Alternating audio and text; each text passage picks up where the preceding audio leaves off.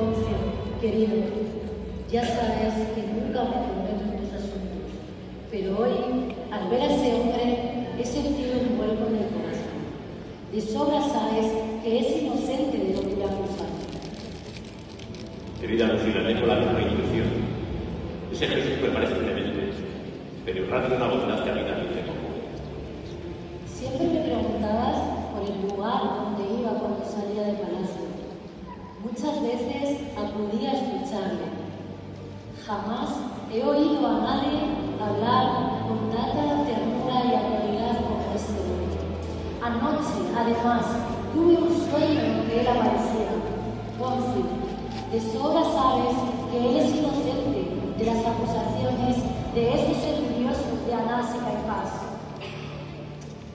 Intentaré seguir tu consejo, pero ya sabes que no puedo mostrar síntomas de falta de autoridad.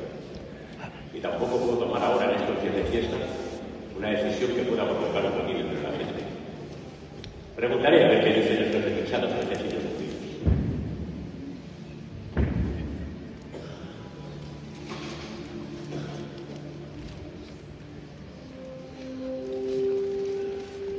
Gobernador, esperamos que hayas tomado una resolución